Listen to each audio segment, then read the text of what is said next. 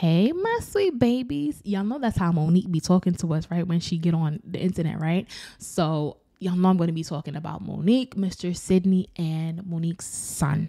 Now, recently, Monique did an interview with Shannon Sharpe where she brought up her son, and that kind of triggered her son to do a video where he expresses feelings as though he's being neglected by his mom. And then after he does his video, of course, Mr. Sidney and Monique get on the internet and they do their video as well, which I want to call their rebuttal to the son's arguments. So let's jump into it the son says, Hey, look, the reason why I'm getting up on here is because Monique basically said that she's praying to the universe to have a better relationship with me, her son.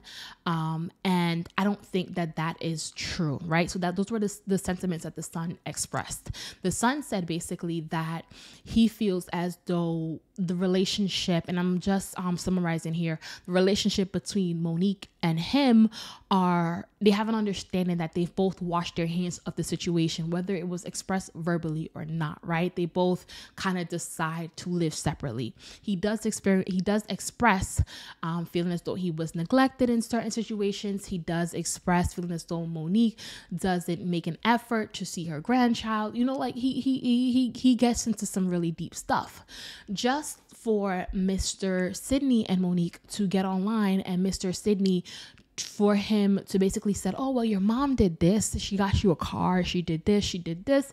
And I feel like the son had already addressed that, feeling as though monetary things doesn't replace the emotional attachment that a son should have with a mom, right? But you know, he says, but Mr. Sidney gets online and he's like, Your mom did this. And he kind of, Mr. Sidney was like, kind of like talking about things that I think really didn't have to do with the situation at hand.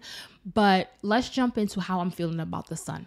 I don't feel as though the son should have gotten online and did the video because at the end of the day, when you are a celebrity, and the son is also a comedian. So when you are a celebrity, I don't think you should go online and, exper- and express your family um, grievances, express your family problems, because at the end of the day, um, how you're perceived publicly is directly correlated to the money the um co- di- directly um related to the amount of money you're going to make so why play with that in any way, shape, or form. I feel like if he was hurt by the interview or if he felt some way about the interview, he should have sent his mom a text. But he didn't do that. He took to the internet. So some of the things that he he said so that's one thing i i kind of disagree with him about one another thing he talks about is being neglected now a lot of people do feel neglected by their parents and i feel like as a parent what happens with the neglect is that you're faced with choices and choices and options your choice could be spend a lot of time with your child but starve or go out make this money but you lose a little bit of time with your child. And that's a choice that we do unfortunately have to make with the economy that we do have ahead of us. And i'm sorry if you're hearing noise in the background. Um but then i think as a parent which i which is where i think monique goes wrong when your child does grow up, you should be working actively to undo some of the trauma that you may have created for your child, right? You should be trying to bond with them and um, build that emotional connection that you may not have been able to build with them when they were lo- younger because you were busy grinding, right? So I feel like that's kind of where Monique is going wrong. But anyway, um, with all of what the son says, Mr. Sidney takes to the internet and he's just like, oh, this, that, and devil knows what else. And I kind of disagree with Mr. Sidney for even speaking out about this. I think this was supposed to be a situation between Monique and her son. And I get it, Mr. Sidney is her husband. However, you should know as a parent, as a husband, as a manager, as whoever, that sometimes you have to stand down.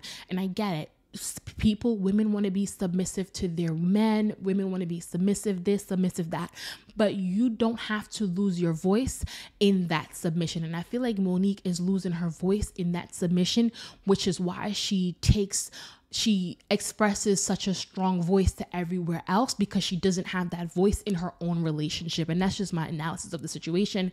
And I just feel like overall, the son is right in some areas and wrong in certain areas. And I feel like the Mr. Sidney is wrong for even speaking out. He should have allowed Monique the time and opportunity to speak. We want to hear from Monique. Monique was the one who was on Miss, Miss, uh, Mrs. Parker's. Monique is who we fell in love with. So allow Monique to have a voice in her own relationship.